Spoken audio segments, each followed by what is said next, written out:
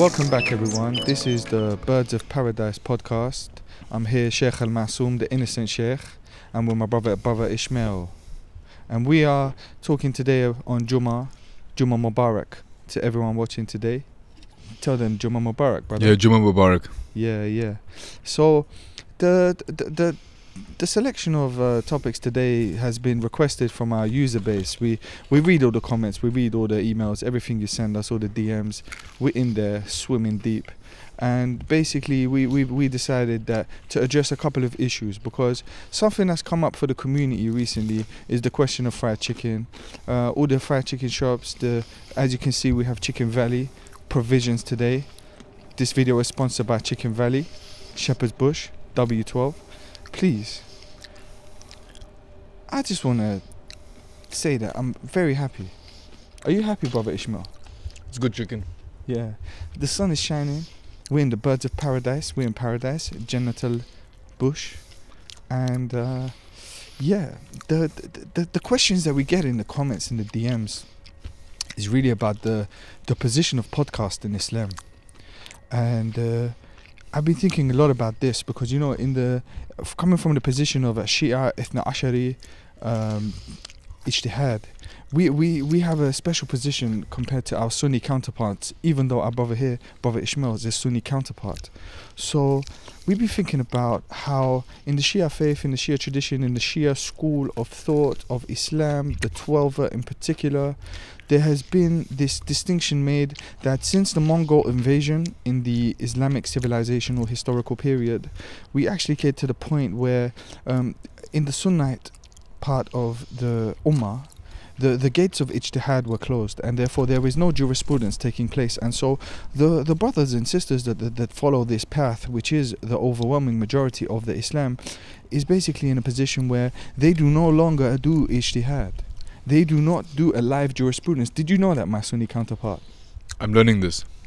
so the Shia school in Iran in Najaf in Lebanon in Iraq you know the these seminaries and these schools uh, these these these monastic places where they teach mandaq they teach logic they teach reason Uh, shia uh, tradition is actually alive with jurisprudence we can reframe and change things and you know um, there is this idea that we, we are waiting for the 12th Imam, but then the Khomeini came in Iran and he did Wilayat al and he showed us that we don't need to wait for the 12th Imam. We can Mm. actually take political action. Mm. Did you know about this? Mm-hmm.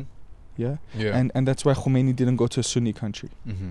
Okay, so basically, uh, we we can change things, and and we, we, if Khomeini was alive today, or if the, if the Mahdi was, was was here right now, um, he would not no longer do Jummah khutbah before the prayer. He would do Jummah podcast. Mm. Did you know this? I, i- it seems like a good idea. It's a jurisprudential position that I, I, as Sheikh Al Masoom, have decided is appropriate to instigate on this uh, glorious Friday afternoon. And the way that the prayers were demarcated in the traditional understanding of the Islamic lunar and solar uh, guidance is we, we follow the path of the sun. Mm-hmm. So there is some differences, but in general, the Muslims they pray five times a day. Sunrise, at the zenith of the sun, as the sun is setting, and many things like this. Sunset being the end of the day and the final prayers. And so even the time of prayer, I would argue, is flexible now because we have 9 to 5 neoliberal capitalism and Mm. people are on their own calendars. Every, no one is in sync. You know, it's, it's it's ridiculous to expect everyone to pray at the same time. So you know, you can pray in your own time. Mm. Mindfulness. Mm.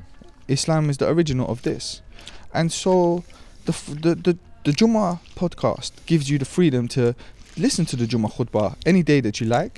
You can listen to it even on a day that is not Jummah. You can listen to it three months later and still get Mm. the same benefit. And you can pray in your own time.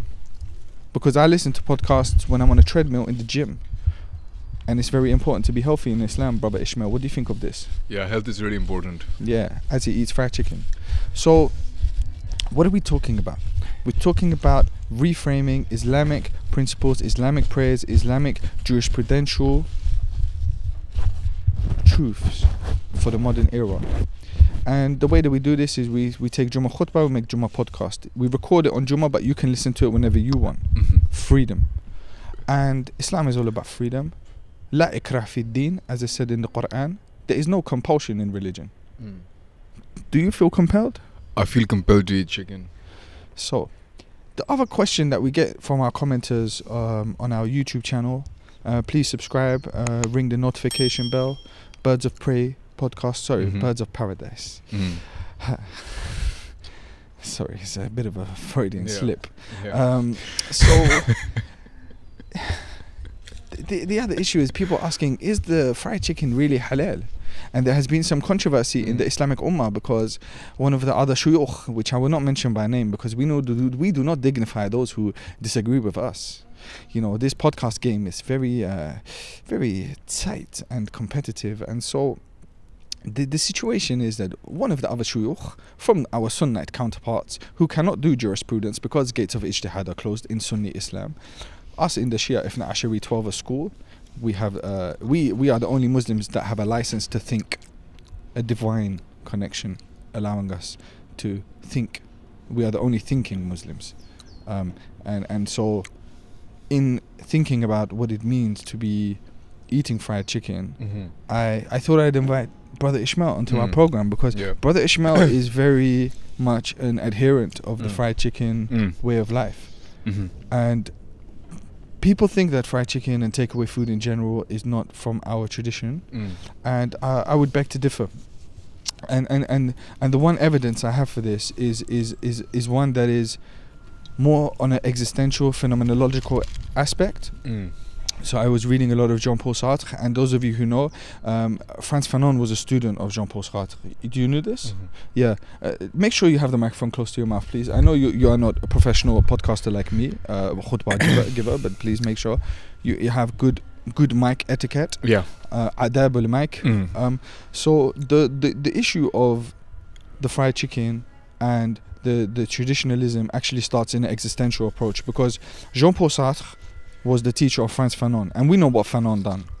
We don't need to talk about this, but many people do not know that uh, Ali Shariati was an Iranian classmate of Frantz Fanon, and they both studied under Shat- Sartre. Okay, so Ali Shariati is actually the, the one who instigated the r- religious revolution in 1979, and Michel Foucault, Foucault, yeah, Foucault, Yeah. he, he was in Iran at this time as well. So uh, there is a connection between existentialism and spiritual Islam, Shia Sufism, yeah. and um, through this kind of existential analysis of the takeaway vendors that we Yeah. that we see around us in this yeah. urban metropolis landscape uh, that is West London, we actually come to realize that the spinning dervish was the inspiration for the doner kebab. Mm. Did you know this? I can see a very abstract connection. Yes. The the, the spinning of meat, the spinning Yeah. of desire, Mm. the spinning of truth, the spinning of reality, the spinning of the cosmos, the spinning of Mm. the earth, the solar system, yeah. the orbital strength, the gravitational pull of a doner kebab, how it brings the, the hearty, low desires of mankind into the vicinity of the takeaway sector. This Mm. is an Islamic love and attachment that exists between meat and joy. There's a magnetism. Yes. Fana al dona. You heard about this? No. It's a spiritual principle. Al fana al donar. The spinning of the Sufi, the true spiritual existentialist of Islam, the dervish that came from Maulana Rumi. Mm. You know Maulana? بشنو از نی چون حکایت می کند از جدایی ها شکایت می کند what does Maulana say in this? This leaf, this tree is shedding. Uh, I just wanted to take a moment just to appreciate this. This backdrop. There's some trains that have been going by, and some people are talking in the background. And uh, part of my part of my own practice and relationship um, to the tradition of chicken is finding moments of of calm uh, and quiet like this, where I can really appreciate. Uh, the wisdom of those words. Moments of calm appreciation as a train is going above us. This is the urban landscape. This is mindfulness Mm. within the cityscape. We are products of this environment. Mm. And I mentioned I, I requested for Brother Ishmael to join us today as my co-host for the khutbah. And and those of you who know the tradition of khutbah actually it's very very important. The tradi- khutbah always has two parts. One part is devotional, it refers to Allah, and the other part is about current affairs. It's about organizing the state media. And we could argue now that podcast is the state media or a, a state of media. So actually the combination of podcast with devotion is the original format that was brought to us by the Prophet Muhammad sallallahu alaihi wa alihi wasallam. and so the instead of having the two parts to the khutbah in terms of its construction of the speech, we have two parts in terms of a counterpart Mm. from our Sunni brethren, who is Mm. more along the lines of the Sufi al path of fried chicken The post denomination. both denominations, and we believe in solidarity, unity, and Mm. the brotherhood of sisterhood as well. So, the thing that we are actually discussing today on the Birds of Paradise podcast is the position of chicken, because chicken is one of the original birds of paradise. Mm-hmm. There are many hadith talking about the size of the chickens in heaven, Yeah. very large. Chicken legs. Microphone, please. Chicken legs. Yes, chicken legs. One chicken leg in heaven is the size of your torso, I would say. Uh, so. Mm. we, we were thinking about how to actually bring this into the fold of the podcast and we thought that we had the devotional element and we can bring the current affairs element as a discussion around chicken. And so this was a big request from our user base. Um, comments please like and subscribe on the dms and the, below everything on the page. Um, make many comments. We will respond to every single one. I will make sure that personally uh, i I see what the people are saying. It's Yeah. important, you know. Yeah. We we have some of the congregation here, but also it's important to engage with the online, and and we've got to get with the times, you know. We've got to get with the times, and so chicken being a bird of paradise. Those of you who have read Attar's wonderful text, Mm. Conference of the Birds. In Conference of the Birds, what do we learn? Not sure.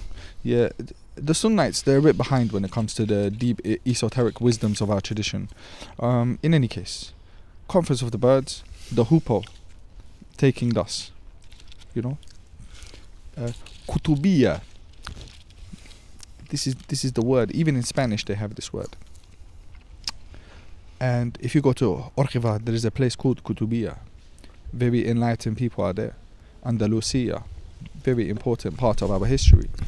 And so the, the, the, fried chicken as a staple, which comes out of this devotional relationship that we have with the takeaway sector in general, the spinning sama of the Mm. spinning dervish represented in the doner kebab.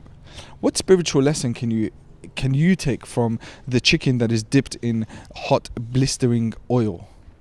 a, a body in motion, being in relation.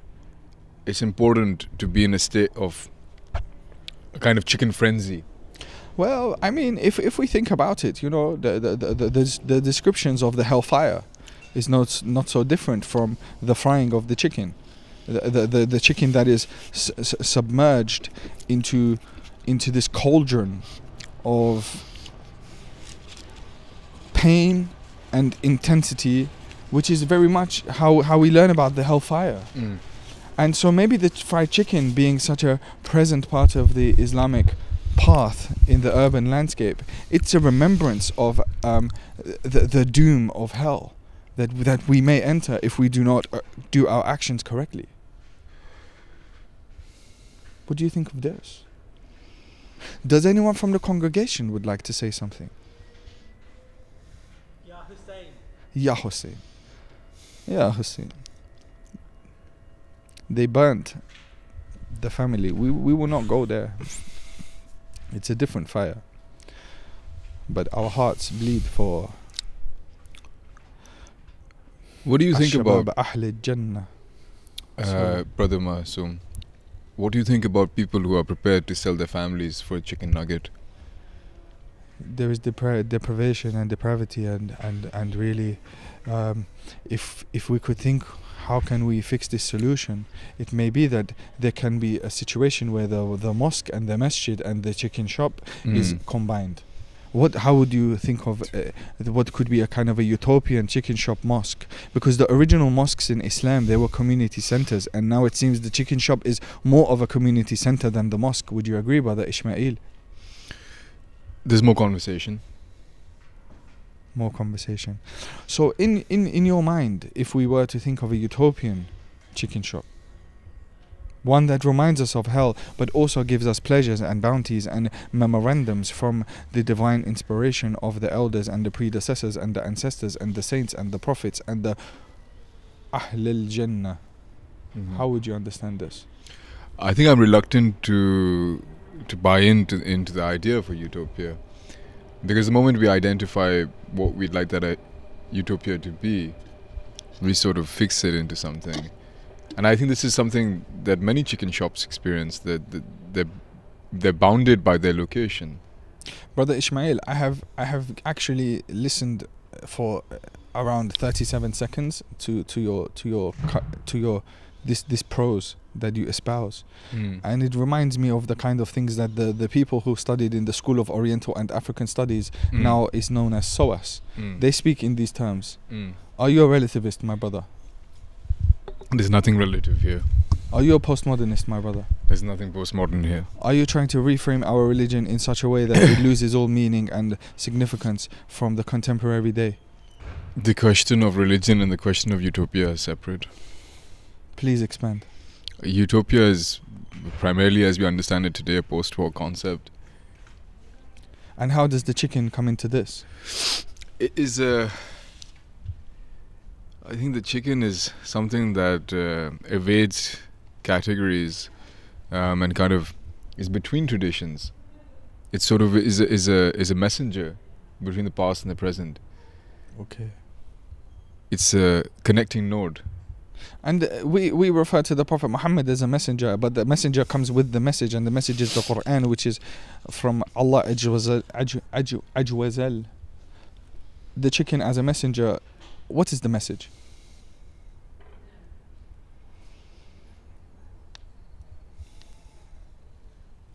It seems that you have consumed so much of the chicken, it, it has it has made you insensitive to the actual guidance that is trapped within its flesh. The genetic code, the methylation principles, epigenetics, all of these types of things. Assalamu alaikum, Habibi. How would you respond to this? I remember my my my first experience of a of a chicken shop. Uh, it was not an independent chicken shop, but was a franchise. When the McDonald's came to Karachi and opened for the first time, it opened in Nazimabad, and everyone ran there to to buy in buy the Happy Meals and play in the sort of happiness playgrounds that they had. And there was Ronald McDonald, who seems to have disappeared entirely from our current landscape. And I remember it being something of complete utopian joy. There was there was a cleanliness, there was a there were bright colors, there was a sense of calm and unity. Um, I loved those tunnels that I could play in. And at the end I would have chicken nuggets and, and fries and some sort of toy to construct. Um, and when I had to leave the shop, I don't know. I had to go back to to a sense of myself. Ah, okay. I- think I understand because you are describing a situation in which the the the the, the modern economic risk around food poisoning and uh, insurance tax claims uh, for the for these franchises uh, encourages them to have a level of cleanliness that can only be desired in a place of worship and Mhm. therefore the cleanliness you found in the ch- the chicken shop in in the franchise in the Karachi actually g- gave you a sense that that this is a civilizational upgrade. Definitely, and I think as opposed to sort of you know the trains going by here, the shedding of this tree, there were literal boxes constructed of happiness. So as opposed to something that you go on a journey, Boxes like this. boxes like this, Like as this. opposed to you going on a journey and you discover that happiness, and it's generalized. It was a very contained category of happiness that you could purchase, you could consume, you could dispose of, and then you could go on. And I think this idea of consumption, you know, once you start with, I remember I would I would search for chicken nuggets, and I just I I I couldn't stop. When you see the box like this in the street, thrown down, do you have a feeling there might be something there? You can That happiness has been taken. Okay. But the cleanliness, the memory of the cleanliness seems to be very poignant. Because in our tradition, brothers and sisters, we have the, the saying of the Prophet sallallahu alaihi wa alihi wasallam, "An nizafa min al iman," that cleanliness is next to godliness. Mm. And so these franchises, with their emphasis on cleanliness, due to Mm. insurance reasons, food poisoning, tax breaks, Mm. these types of things, Mhm. they have actually constructed an environment that is more religious than most of our places of worship. And therefore, I would argue that we should be doing this khutbah in a chicken shop. We could have a khutbah fried chicken, KFC. So, if I may, I would like to take a contrary position. Rather than having a chicken shop in one space, we can have it anywhere. This is also Like the salah. this is also a part of of the chicken shop. It doesn't end. Why do we need to have these these these doors? You see, my brother, I think also in the marketing, because the podcast thing where I think about mark- marketing is very important in Islam because it's how we communicate the message, it's how we invite it, da'wah to Islam, is how we bring the proselytizing, missionary type of Mm. approach. Mm. And so I can think of salah and salad, but not salah and chikan. Is not doesn't have the same ring. So could there be instead of a fried chicken, it's a saladed chicken. Salah al saladed chikan. Something a bit exotic sounding, you know. Because uh, I am thinking this type of processed, submerged, Mm. reminding of the hellfire experience. Mhm. It's, it's kind of intense. No, I like going back to what you said earlier. I like the sort of Dionysian uh, doner kebab, the sort of the, the But spinning brother, brother, dervish. uh, we, we, if we are talking Dionysian, you know, this is very dangerous territory because Dionys, Dionysius, he is the god of wine. We cannot have this in our tradition. We are against alcohol, even though we invented it. What's, we invented it to disinvent it. what's your position on Rooh Afza? Ruafza, if you leave it out in the sun in this type of weather, it will ferment and become alcoholic. And brother, this is actually a halal way to get drunk. This is the only halal way because you cannot judge the percentage unless you take it for uh, laboratory analysis and mass spectrometer and you find what is the actual alcoholic content is too much. Allah does not require this type of effort. So if you drink it and you get drunk by accident, actually Allah will forgive this one. So that is why there is always a Rooh Afza somewhere outside. Some of our view- viewers have uh, accused you of hiding behind words, and I wanted to take this opportunity to really ask, um, what was your first experience of a chicken shop? My brother, I still have not been in one. Alhamdulillah. I, I worship them from afar. I believe the chicken shop is in the heart of every believer. The spinning doner is the spinning dance of the sama, of the swirling dervish, the Maulana Mevlevi tradition of Sufism. I cannot be in such vicinity of frying and dirt and grease dripping. Brother Ishmael, why do you think I invited you to the Birds of Paradise podcast environment to discuss what is this? Brothers and sisters, we have reached a point in the podcast where Brother Ishmael is dumbfounded by the wisdoms of our tradition. We do not need to justify everything with hadith, Quran. We have our brains, we have reason, we can use ijtihad and our hearts. They can tell us what is the way. Brother Ishmael found a path to Allah through fried chicken. These type of relativistic, so as a postmodern type of analysis. And you can find your way. As has been said by the great film The Lizard, Marmulak, in the Iranian tradition. There are as many paths to God as there are people. So please, individuate yourself upon a time where individuality, individualism, neoliberal economy has not been more favorable towards this path of the individual. And therefore, you can find your own way to God listening to our podcast anytime you like. Today is Juma. This is the Juma Khutbah edition, Birds of Paradise. But you can listen to it whenever you want. You can pray whenever you want. You can do mindfulness instead of salah. Allah is big, and the heart of the believer is wide. If you visit our shop, uh, we sell empty boxes um, with our own brand, and you can fill them with whatever you like. I believe it's better to keep it empty. Remember the emptiness of the heart before it receives the joy. الصلاة والسلام على أشرف الأنبياء وسيد المرسلين وعلى آله طيبين طاهرين. We would like to bring you a message from one of our sponsors, Brother Ishmael. Do you know who is our sponsor for this episode? Karen Fried Chicken. Karen Fried Chicken. Karen Fried Chicken is a fried chicken establishment in Iran, in Tehran, named after Karen. Looks just like KFC, but tastes halal and high quality. What do you think, brother? Have you been to Iran? Have you ever mm, had any fried food or takeaway establishments in that part of the world? Not yet. Okay, so why don't I give you a bit of a history? In um, in the time of the Iranian Revolution, there was a shared moment of solidarity between the Iranian struggle and the Irish struggle. Do you know any names, any significant figures who waged jihad in Ireland? There is Bobby Sands. Bobby Sands is the first jihadist of the Irish people, and he waged jihad against the British by going on hunger strike. And we are talking about fried chicken, and it's important to remember that when we talk about food, we should always talk about hunger, and there is balance in this situation. So Bobby Sands went on a hunger strike, and how did they remember this in Iran? They created a takeaway establishment called Bobby Sand Burger, and it also serves fried chicken. What do you think about this? To take a man's hunger strike and make a fast food joint.